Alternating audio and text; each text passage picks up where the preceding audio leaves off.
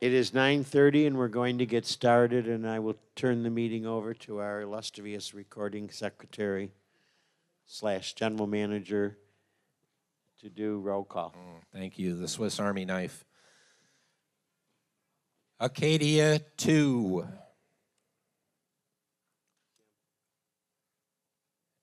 Absent. Andover, A.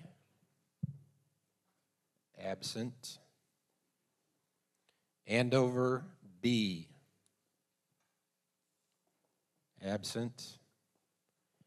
Andover, E. Absent. Andover, G. Present by proxy. Andover, H. Absent. Andover, I. Present by proxy. Bedford, A. Absent. Bedford, B. Absent. Bedford, C. Present by proxy. Bedford, D. Present by proxy. Bedford F. Absent. Bedford H. Absent. Bedford J. Absent. Brookfield. Present by proxy. Cambridge C. Absent. Cambridge F. Absent. Cambridge H. Present. Cambridge I. Absent. Cambridge J. Absent. Cambridge L.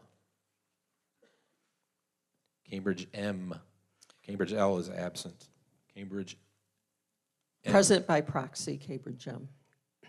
Canton Court. Absent.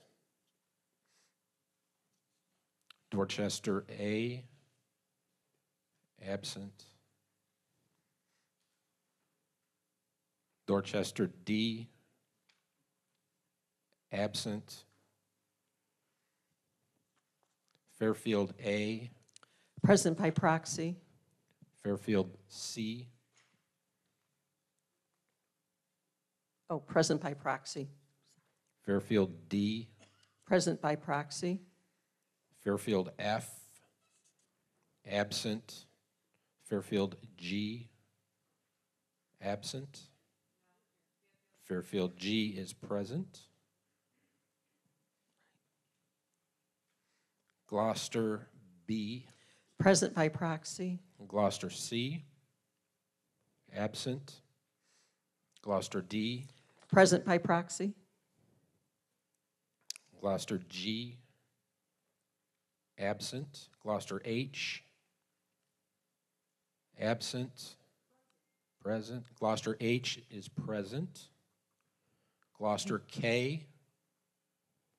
Absent. Gloucester L. Present by proxy. Gloucester N. Absent. Highgate E. Absent. Highgate F. Absent. Highgate 3. Absent. Highgate 4. Present by proxy.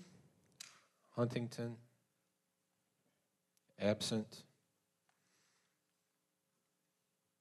Inverness. Present by proxy. Mm-hmm. They're present.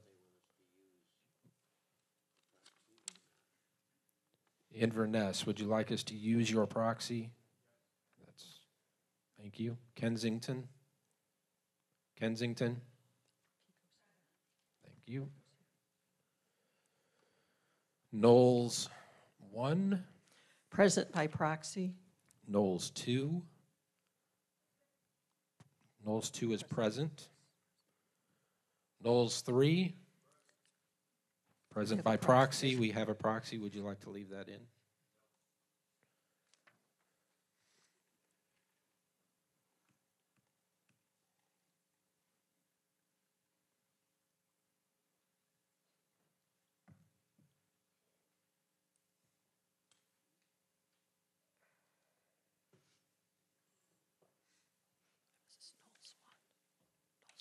Lancaster, two.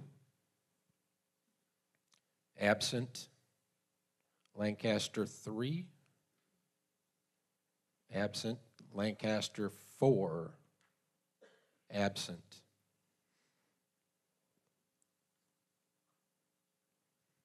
Manchester, three. Absent. Maplewood. Present by proxy. Nantucket, three. Absent. Oakley Green. Present.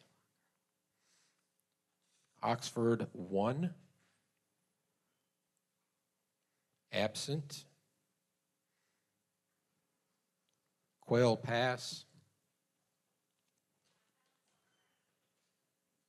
Quail Pass. Absent. Radisson, one.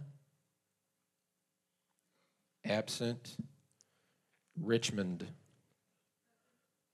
You have a proxy. Present by proxy. Present by proxy. Are we going to leave your proxy in? Thank you. Southampton, one. Present. Tremont, one. Present.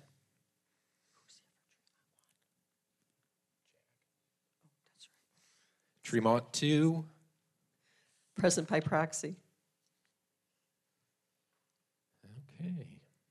We have seventy-one point eight percent of the units represented. We have a quorum. Then with that, at nine thirty-seven, I will call the meeting to order and please rise for the pledge.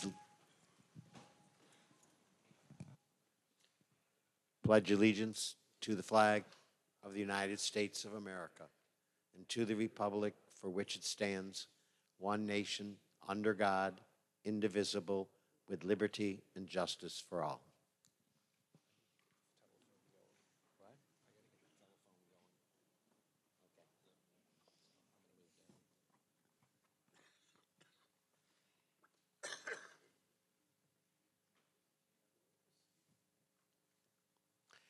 The first item on the agenda is the approval of the October 21st membership meeting.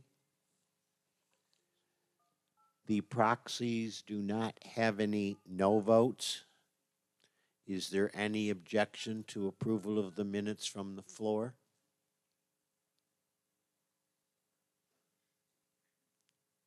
With no objections to the minutes of the floor, we will pass the minutes considered unanimous by all in attendance.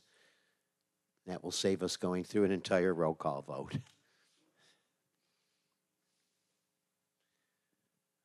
Uh, Keith, are you ready? Uh, Keith, I'm sorry. Steve and Ginger, are you ready for your presentation? Uh,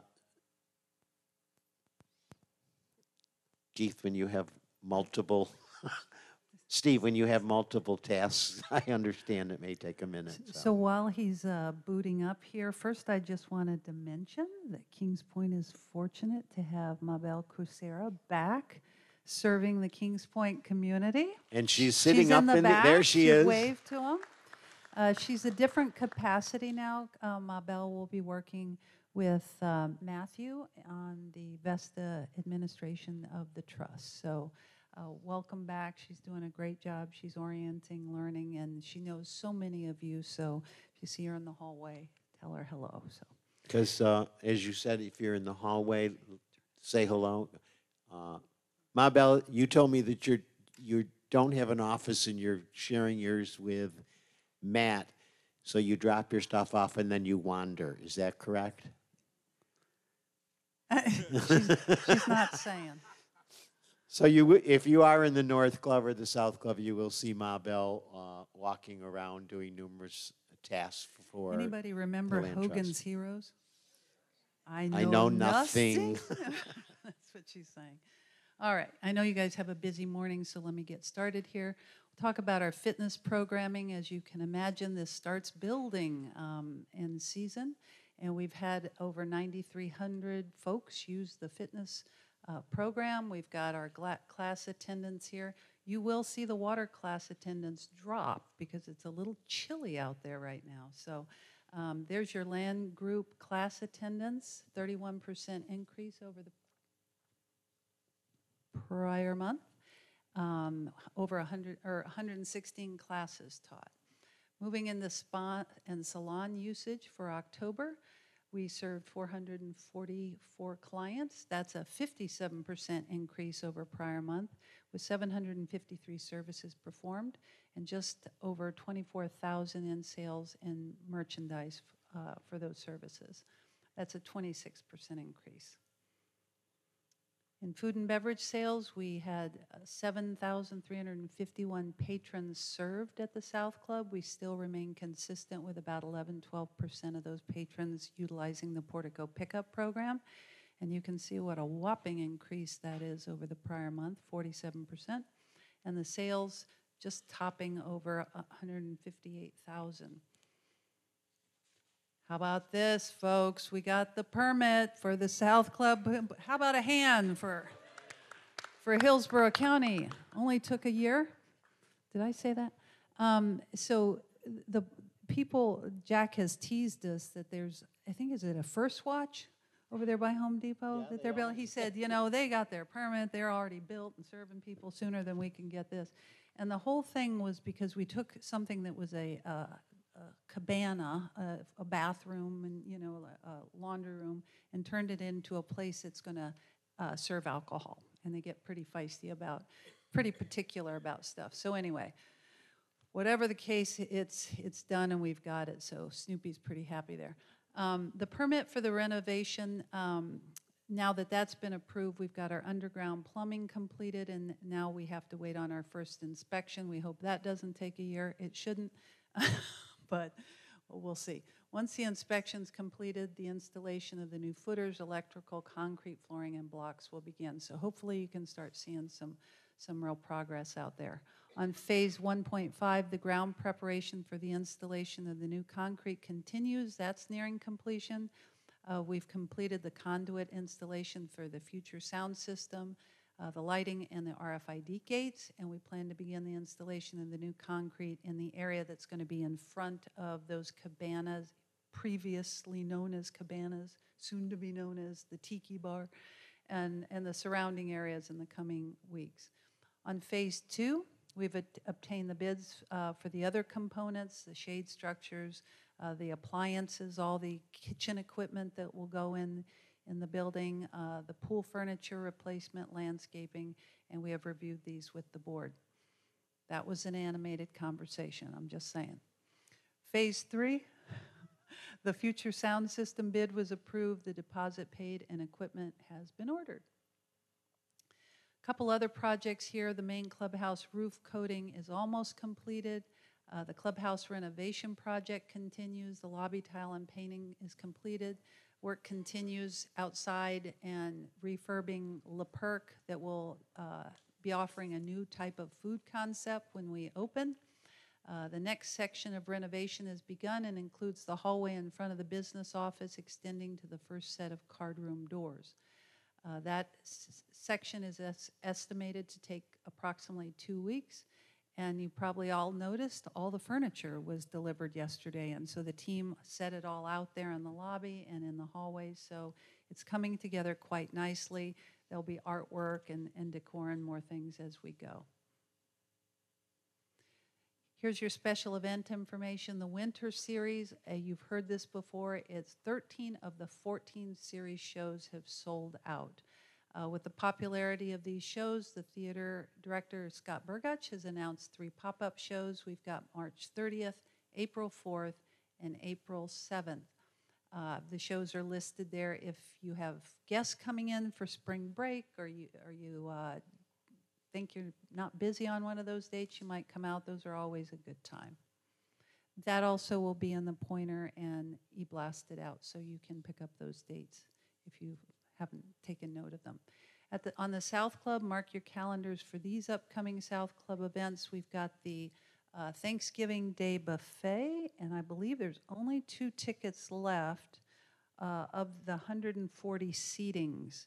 And then on the portico pickup, they, they have a capacity, uh, original capacity for 120. I'm not sure how many of those are available, but uh, the board had asked us to offer Thanksgiving dinner, thinking that would be something desirable for folks who don't, don't want to cook, don't have family in. And uh, clearly that was a, a good idea and it's going over well. So we're going to look at future holidays, something.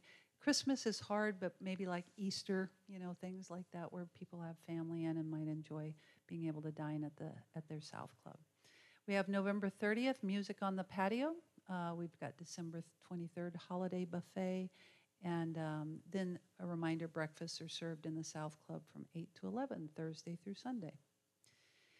A couple more here. Kings Point Catering is now available for your event catering. If your association or your your uh, your clubs uh, would like to have a party, uh, contacts Alex. Um, she will set you up and tell you all sorts of fun things that you can do that might be new and different. November 4th, classic concerts event at the South Club featuring Bon Jovi's 2009 live in New York. It's not really Bon Jovi, but um, it was a huge success, and stay tuned for more uh, as they come up.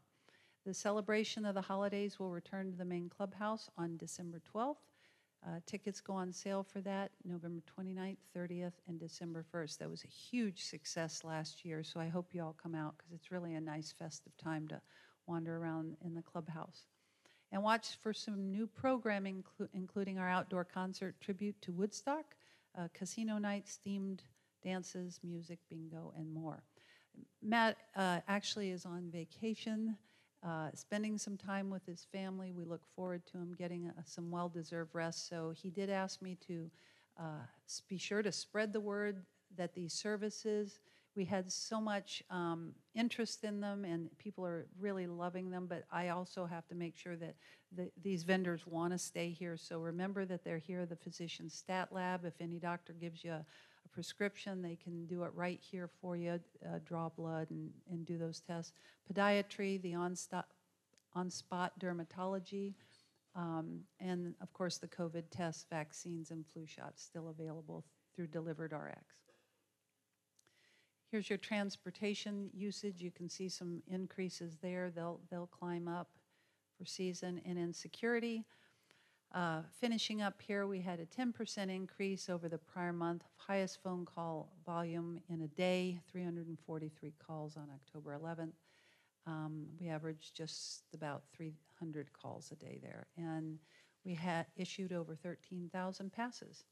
In the incident reports, a couple notables. We had a business related visitor arrive at the front gate. He gave us an address and requested entry into the community. No authorization had been provided by the resident for entry, and the resident didn't answer their phone for verica- verification when they were called. So instead of leaving, as our team asked him to do, he ran the gate. So security uh, went and found him at the address that he had given us. That wasn't very hard to figure out. So the visitor then immediately turned around and exited the community um, when he saw us on his tail. Uh, finally, a resident, oh, uh, I'm sorry, res- this type is real small down there, Steve.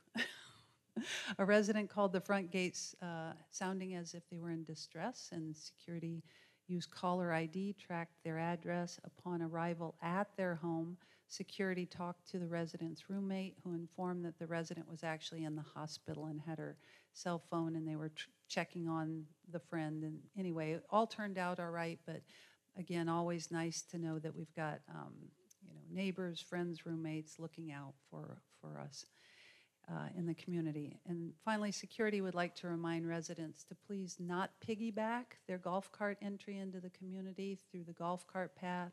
In the last few weeks, the the uh, piggybacking uh, broke off the arm four times. So just wait your turn, scan your badge, go through when the arm goes up. And then uh, finally, as we gather with grateful hearts, uh, Dan, myself, Matthew, the whole team in Vesta wishes all of you a happy Thanksgiving. Before I turn the meeting over to Steve, uh, you all came in the building through the front door, I would assume, or walked through the lobby. What do you think of the furniture and the decor out there now compared to what was out there before? Uh, I walked in and I looked at La Perk and I thought, oh my God, the tables and chairs are absolutely fantastic. And I know they have to be rearranged, but the new leather furniture uh, in the lobby and the new tables and stuff, and probably when they get the out art decor up, it's really going to change the whole look of the North Clubhouse. And uh, I don't know if Victoria is here or not, uh, but I know Victoria has worked diligently on the refurbishing of the North Clubhouse. I know she worked diligently yesterday with staff to uh, unpack the furniture, and I want to extend our appreciation from the Federation Board to all the work Victoria has done uh, in the refurbishment of the North Clubhouse. It, it doesn't look like the same clubhouse it did six months ago. So, uh, Ginger, would you please extend to Victoria our appreciation for all the work she did? I sure will. Um, Tosh just wrote me there's about 10 portico pickup Thanksgiving meals left. So if you want one of those, get one of those. And with that, I'll turn the meeting over to you, Steve. Thank you very much. Good morning, everyone. First Service has been busy preparing budget packets, so that's pretty much uh, the bulk of, of this report, and we're going to spend some time talking about that during the next meeting. Um, Hurricane Nicole came through since we've met last. Um, The damage from Hurricane Nicole was primarily in debris that the landscapers have, for the most part, picked up already, which is a good thing. Um, I, I do have a special announcement on behalf of First Service. Yesterday, Joey Muniz, who is our landscape specialist, was awarded the Southeast Region's uh, for First Service Be Genuinely Helpful Values at Work Award for the year by our CEO, David Diestel. We had a nice video conference yesterday, and uh, it is a very prestigious internal award, and I'd like to play a video clip of that for you. everybody welcome and it is great to see everyone and we we are excited to celebrate joey as the 2022 south region values at work honoree. Joey congratulations now one thing one thing we can tell by the great nomination from helena is that you are a key contributor at kings point and have done it and become that, uh, it appears, in a very short period of time. So, congratulations.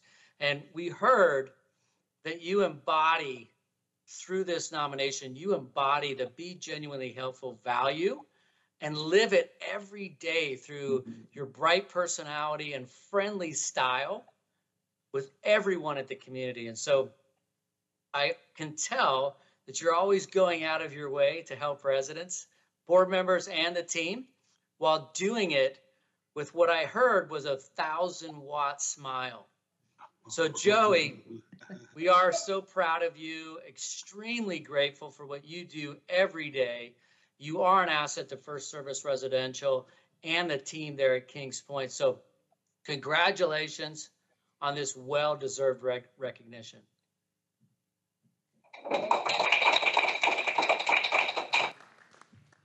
And that was, yeah, Robert Smith, who was uh, the president of our South region. Um, Joey is here. Congratulations, my friend. Well done. Well done. So now you know where he is. Um, Why aren't you out in the field? Joey, I want to uh, add to the First Service recognition, the board's recognition to you too. Uh, and I know I speak for the residents of this community in saying thank you for the work you do. Thank you. Um, Just one final note, uh, again, on, on behalf of our First Service family to you and yours, we wish you a very happy Thanksgiving. Uh, Our office hours next week, we emailed to everyone this morning, but we will be closed Thanksgiving Day the day after, and we'll be closing at 3 o'clock on Wednesday. If anything occurs in that time when we're not in the office, please feel free to call the office number, the emergency line. Uh, Our customer care uh, call center will gladly take your calls 24/7. Uh, Typically, they come to me. Most of you know my email. Most, some of you know my cell phone. Um, I'm not going anywhere, um, and, and I stand ready to serve you over the Thanksgiving break, as does our entire team. Sir, that is my report. Thank you very much. Thank you. Uh, Just to check to see if there are any updates uh, from the committees. Uh, Dan, do you, Ray, uh, yeah, I know you don't have anything because it'll be presented in the budget presentation. So Dan, do you have anything? And you have a mic there.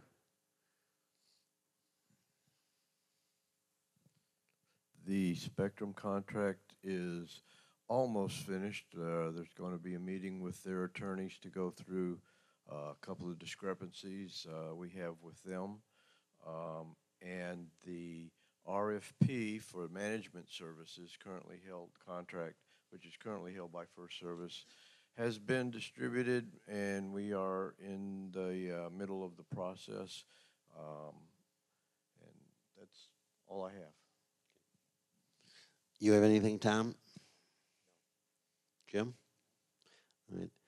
Uh, I have an announcement. Uh, I'm going to look to Keith, uh, Steve. Uh, and I keep saying Keith because he's on my mind because earlier this week uh, I received a text. That is the arrival of the newest Wilking. Uh, for you, those don't know, Keith had three girls. He now has four.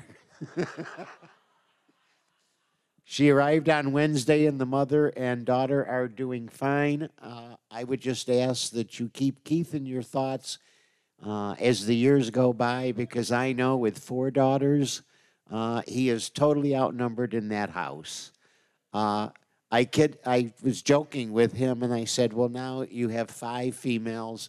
And he sent back a text to me and he said, And my dog is also a female. so I just thought you'd like to know. Uh, I'm quite sure if you uh, send an email or want to contact First Service to express your congratulations to Keith and his family, uh, he would very much appreciate it. Uh, so just keep him in your thoughts. He has a great challenge coming in the future. Uh, the board has always always joked with with Keith on maybe we better tell you how this occurs because you uh, four children. I think the oldest one is seven, if or, or younger. Uh, we keep telling Keith it's not in the water. And with that, the board would like to express its best wishes for a very happy Thanksgiving to all the residents of Kings Point. Uh, and with that, I will open it up for any good and welfare announcements. Uh, if we don't have any, we can go directly into the budget meeting after a short break.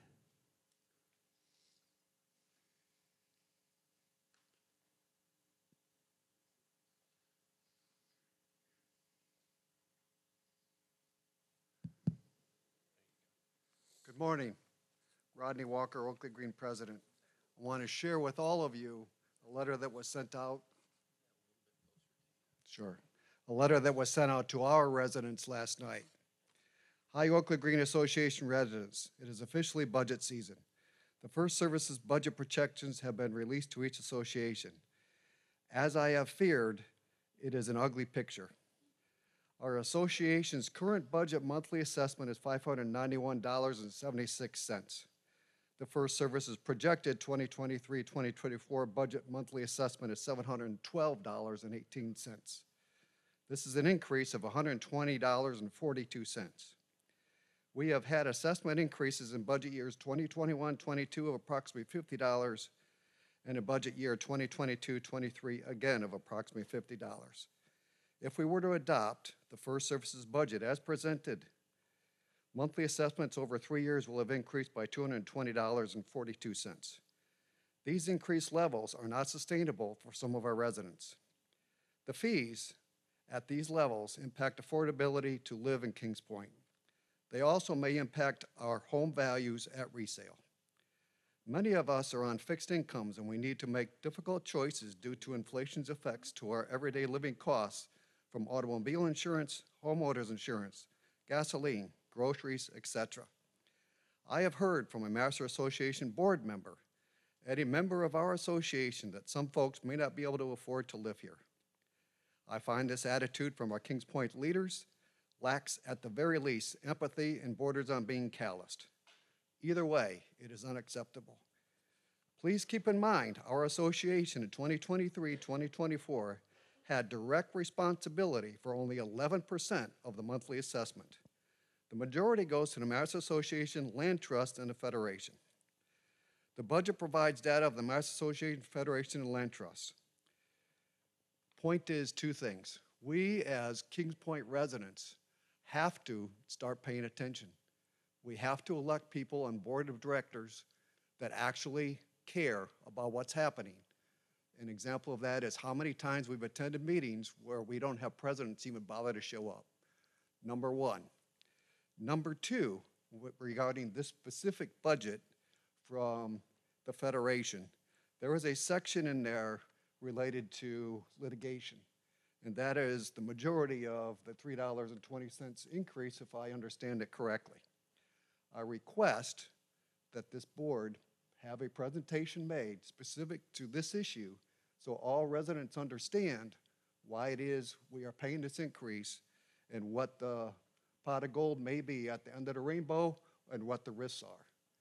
I don't suggest that you pro- provide any private or confidential information, just the public information that may already be out there, specifically given the amount of turnover we've had in this particular Kings Point Residents Association. Thank you.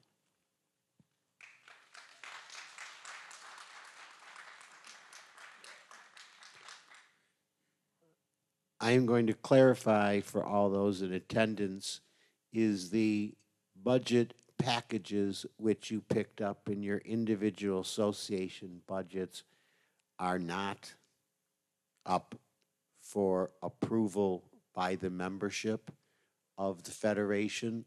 They are your individual association budgets, and your individual associations can modify uh, certain aspects of the budget, but the budget that was presented uh, is the budget uh, based upon the contracts that have been signed and the federation and master budgets that uh, have been approved.